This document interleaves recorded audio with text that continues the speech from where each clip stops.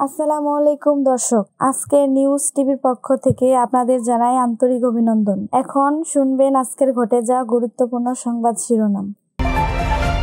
দেশে কোনো সংকটে নেই, সংকটে আছে বিএনপি, বললেন হানিফ। সিলেটে কৃষি বিশ্ববিদ্যালয়ে ছাত্রলীগের দুই গ্রুপের সংঘর্ষ। প্রধানমন্ত্রীকে হত্যা চেষ্টা, মামলার আসামি কারাগারে মৃত্যু। নাটোরে আঞ্চলিক ইস্তেমায় মুসল্লিদের দল। প্রেমের টানে জার্মান তরুণী সিলেটে। কবে কমবে শীতের তীব্রতা, জানালো আবহাওয়া অধিদপ্তর। দুই হাজার তেইশ সালে পুরুষ অভিভাবক ছাড়াই হজ করতে পারবেন সৌদির নারীরা। আফগানিস্তানে পঁচিশ জনকে হত্যা করেছিলেন প্রিন্স হেরি এতক্ষণ শুনছিলেন সংবাদ শিরোনাম, এবার বিস্তারিত। দেশে কোনো সংকটে নেই, মানুষও কোনো সংকটে নেই। সংকটে আছে বিএনপি। এমন মন্তব্য করেছেন আওয়ামী লীগের যুগ্ম সাধারণ সম্পাদক মাহবুবুল আলম হানিফ এমপি। তিনি আরও বলেছেন, দলের শীর্ষ দুই নেতা দণ্ডপ্রাপ্ত হয়ে পলাতক ও কারাগারে থাকে, সেই দল তো সংকটেই থাকবে। তাই সান্ত্বনা খুঁজতে দেশে সংকটে আছে বলে প্রচার করছে তারা। সকালে কুষ্টিয়ায় শেখ কামাল দ্বিতীয় বাংলাদেশ যুব গেমসের উদ্বোধনকালে তিনি সাংবাদিকদের এক প্রশ্নের জবাবে এ সকল কথা বলেন। সরকার বিচার বিভাগকে ব্যবহার করছে বিএনপির অভিযোগ প্রসঙ্গে হানিফ আরও বলেন, বিএনপির মুখে এ কথা মানায় না, কারণ বিএনপি এ দেশের বিচার ব্যবস্থাকে কলুষিত করেছিল। বঙ্গবন্ধু হত্যার বিচার বন্ধ করে এবং ক্ষমতায় থাকতে বিচার বিভাগকে হাতিয়ার হিসেবে ব্যবহার করে বিএনপি বিচারহীনতার সংস্কৃতি কায়েম করেছিল। আওয়ামী লীগ ভবিষ্যতে বিচার বিভাগে কোনো হস্তক্ষেপ করবে না। বিএনপির আন্দোলন প্রসঙ্গে হানিফ বলেন, দশ বছর ধরে বিএনপির আন্দোলন দেখে আসছি। জনবিচ্ছিন্ন দল বিএনপির আন্দোলন নিয়ে কোনো কথা বলার প্রয়োজন নেই। বিএনপি আন্দোলন নিয়ে জনগণও ভাবে না, আওয়ামী লীগও ভাবে না। সিলেটে কৃষি বিশ্ববিদ্যালয়ে ছাত্রলীগের দুই গ্রুপের সংঘর্ষ।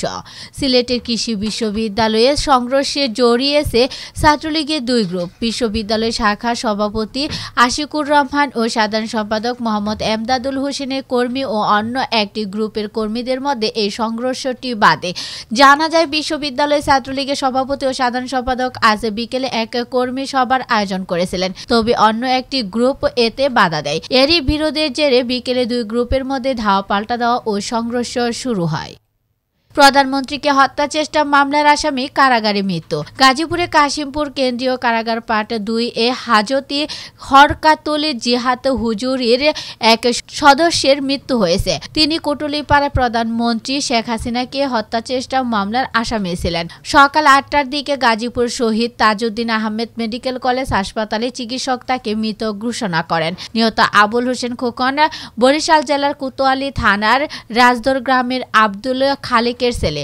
কাশিমপুর কেন্দ্রীয় কারাগার দুই এর senior jail super Mohammad Amirul Islam জানান, সকাল সাড়ে সাতটার দিকে আবুল হোসেন খুকন হঠাৎ অজ্ঞান হয়ে পড়েন। পরে তাকে কারাগারের ভিতরে প্রাথমিক চিকিৎসা শেষে উন্নত চিকিৎসার জন্য গাজীপুর শহীদ তাজউদ্দিন আহমেদ মেডিকেল কলেজ হাসপাতালে পাঠানো হয়। নাটোরে আঞ্চলিক ইস্তেমায় মুসল্লিদের দল। নাটোরে শুরু হয়েছে মানব জাতির কল্যাণ ও পরকালে মুক্তির কামনায় তাবলিক জামায়াতের তিন দিন ব্যাপী আঞ্চলিক ইস্তেমা শহরের মার্কাস জামে মসজিদ সংলগ্ন তেবারিয়া বিলেবাত ফজর আম বয়ানের মধ্য দিয়ে ইস্তেমার আনুষ্ঠানিকতা শুরু হয়। প্রচণ্ড শীত উপেক্ষা করে সকাল থেকে ইস্তেমা ময়দানে হাজার হাজার মুসল্লি হাজির হন। জুমার নামাজে প্রায় অর্ধ লক্ষাধিক মানুষের উপস্থিতিতে ইস্তেমা ময়দান কানায় কানায় পূর্ণ হয়ে যায়। প্রেমের টানে জার্মান তরুণী সিলেটে। প্রেমের টানে সুদূর জার্মানি থেকে সিলেটের বিশ্বনাথে ছুটে এসেছেন মারিয়া নামের এক জার্মান তরুণী। দেশটির একটি বিশ্ববিদ্যালয়ের শিক্ষক মারিয়ার সঙ্গে পেশায় বিশ্বনাথের কম্পিউটার ইঞ্জিনিয়ার আব্রাহাম হাসান নাইমের প্রেমের সম্পর্ক গড়ে ওঠে। সে সম্পর্ককে পরিণয়ে রূপ দিতে গত তেইশে ডিসেম্বর বাংলাদেশে আসেন মারিয়া। গতকাল রাজকীয় আয়োজনের মধ্য দিয়ে আব্রাহাম মারিয়ার বিয়ের মূল আনুষ্ঠানিকতা সম্পন্ন হয়। আব্রাহাম বিশ্বনাথ পৌরসভার শ্রী দরপুর গ্রামের আরিস আলীর ছেলে। কবে কমবে শীতের তীব্রতা জানালো আবহাওয়া অধিদপ্তর। রাজধানী সহ সারা দেশে তীব্র শীতে জনজীবন বিপর্যস্ত। ঢাকা সহ ময়মনসিংহ, রাজশাহী, খুলনা, বরিশালে কিছু অংশে অস্বাভাবিক হয়ে হারে তাপমাত্রা কমতে দেখা গিয়েছে। শনিবার থেকে ঢাকায় শীতের তীব্রতা কমতে পারে বলে জানিয়েছেন আবহাওয়া অফিস। একই সঙ্গে দেশের অন্য জেলাগুলোতে তাপমাত্রা কিছুটা বাড়তে পারে। তাপমাত্রা পরিস্থিতি বিশ্লেষণে দেখা গিয়েছে, ইতিমধ্যে উনিশটি জেলায় তাপমাত্রা বাড়তে শুরু করেছে। সেই সঙ্গে ঢাকার তাপমাত্রাও কিছুটা বেড়েছে দুই হাজার তেইশ সালে পুরুষ অভিভাবক ছাড়াই হজ করতে পারবেন সৌদি নারীরা। চলতি বছরে হজ মৌসুমের জন্য নিবন্ধন চালুর ঘোষণা দিয়েছে সৌদি আরব। স্থানীয় মুসলমানদের জন্য হজের নিবন্ধন উন্মুক্ত করার ঘোষণা দেয় দেশটির হজ ও উমরাহ মন্ত্রণালয়। এতে পুরুষ অভিভাবক ছাড়াই সৌদি নারীদের জন্য নিবন্ধনের সুযোগ রাখা হয়েছে। এক প্রতিবেদনে এই তথ্য জানিয়েছেন সংবাদ মাধ্যম খালিজ টাইমস। প্রতিবেদনে আরও বলা হয়েছে, সৌদি আরবের মুসলমানদের দুই হাজার তেইশ সালের হজ মৌসুমের নিবন্ধন চালুর ঘোষণা দিয়েছে দেশটির হজ ও উমরাহ মন্ত্রণালয়। হজ যাত্রীদের জন্য চার ক্যাটাগরির প্যাকেজ থাকবে। সৌদি প্রেস এজেন্সির একটি বিবৃতিতে জানা যায়, অর্থনৈতিক প্যাকেজটি তিন হাজার নয়শো চুরাশি রিয়াল থেকে শুরু হচ্ছে এবং হজ যাত্রীরা একই সঙ্গে পুরো অর্থ প্রদান করতে পারবেন বা তিনটি কিস্তিতে তা পরিশোধ করার সুযোগ পাবেন।